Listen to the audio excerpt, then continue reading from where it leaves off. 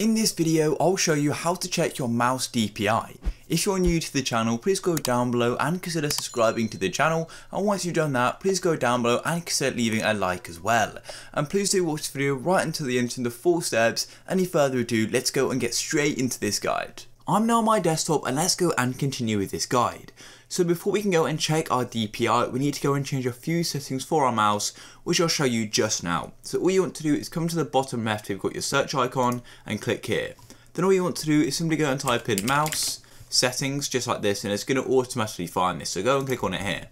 Then we go and get this page here in our settings, and then all you want to do is come over to the right where it says additional mouse options, then go and click here then it's going to go and bring this pop up here. I'll just zoom in on it for you. And all you want to do is on this tab bar is come to pointer options. And you want to make sure enhanced pointer precision is turned off. So click on it here and then you want to go and click on apply and then wait for it to load and then all you want to do is go and click OK. So now we're ready to go and do this test. So to go and find this test, all you want to do is go and open up a web browser. I'm personally using Google Chrome and Google.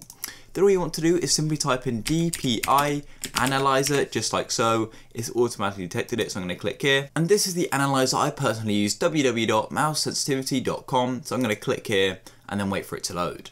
Then all you want to do is simply scroll down till we go and get this information here. You can also go and read through the instructions as well. All you want to do is type in your configure DPI if you do know it. I don't know mine, but it's not essential, don't worry. And you can also go and type in your target distance.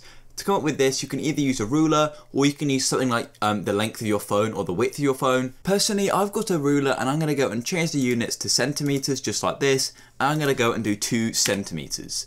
So then all you're going to do is want make sure you line it fully up and then you want to go and grab the crosshair and then make sure your measurement is in place and then go and move it. So I'm going to go and do mine just now. I have to concentrate a bit and there we go.